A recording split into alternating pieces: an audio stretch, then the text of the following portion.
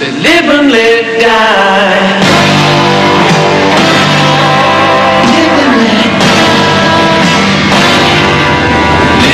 Escondido na paisagem do campo inglês, o estúdio de Paul McCartney fica no alto de uma colina.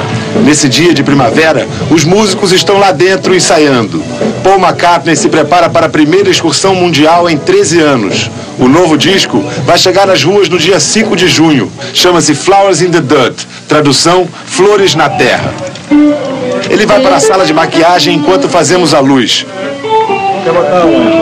O assistente pessoal de McCartney, chamado John, diz que tem que colocar a mesa do lado esquerdo com água para o patrão canhoto. Ele chega bem humorado, cantarola uma velha canção folclórica inglesa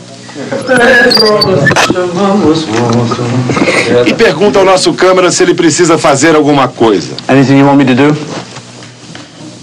Eu pergunto se os press releases estão certos quando dizem que este novo álbum é um disco verde, ecológico.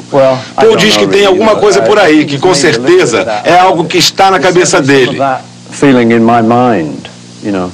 Ele diz que nunca foi à floresta amazônica e que este é um assunto complexo que precisa da ajuda de todos.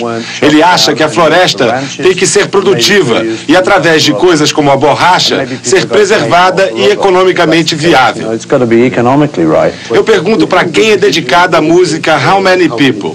Você sabe para quem é dedicada, ele responde. Want me to tell you? Chico Mendes. Paul conta que conheceu Chico Mendes num documentário na televisão.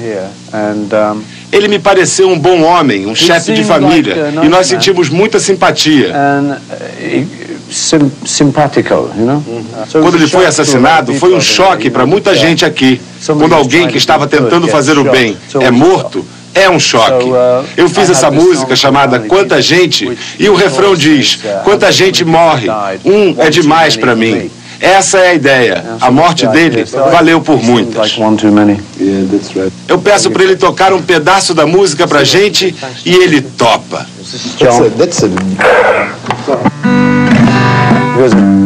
How many people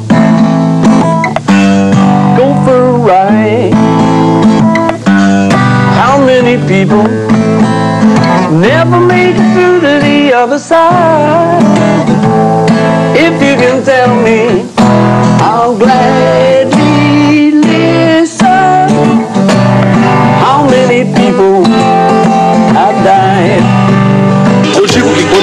Quando compõe esta música, ele não está sendo apenas romântico, está sendo político. Ele que sempre fugiu do assunto. You, you can't help it, you know. As you Você não pode evitar quando você fica mais velho e tem crianças e se preocupa com elas.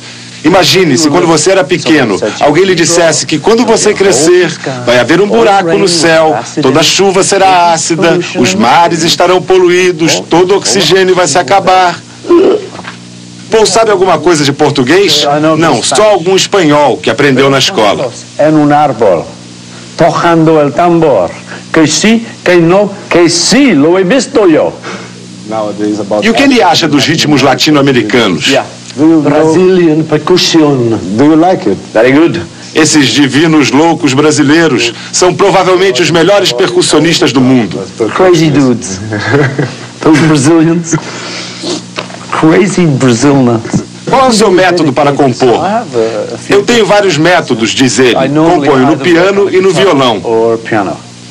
Eu estava com Dustin Hoffman durante as filmagens de Papillon e estávamos jantando. Ele me fez a mesma pergunta que você: como escrevo as canções? E falou, por exemplo, sobre as últimas palavras de Picasso, que foram: bebam por mim, bebam por minha saúde, pois já não posso mais beber.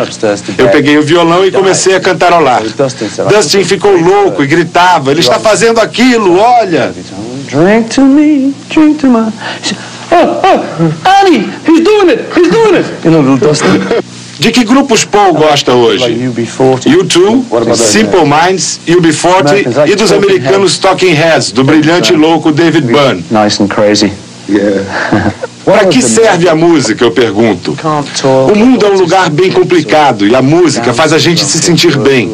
Por exemplo, as crianças autistas não conseguem se comunicar com o outro.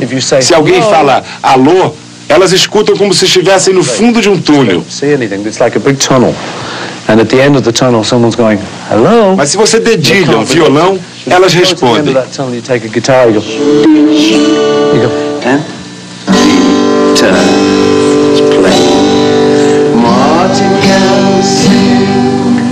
As crianças melhoram e se comunicam através da música. É místico. Nós somos atraídos pela música. Eu virei músico não para fazer dinheiro, mas para curtir, ter prazer, paixão. Ainda hoje as nossas crianças adoram ouvir os Beatles. Qual era a magia de Lennon e McCartney? Nós crescemos juntos e éramos um pouco mais inteligentes que a média. Éramos bem espertos. Saímos de Liverpool com muitas ambições. E em Londres nos disseram que nós poderíamos ter uma piscina se fizéssemos uma música de sucesso. Uma casa. And a house. Oh, E nós fomos melhorando e escrevemos realmente algumas músicas muito boas que ficaram. Algumas coisas da época envelheceram. Mas há canções dos Beatles em que a mensagem ainda é fresca, até hoje. It's kind of still interesting ideas, I think. Segundo Paul, as melhores coisas da vida são a família, a música, diz que gosta muito de pintar e que pinta qualquer coisa. E gosta de gente se encontrando, com calor humano. Paul McCartney vive cantarolando. Ele conta que essa guitarra era de Carl Perkins, o autor de Blue Suede Shoes.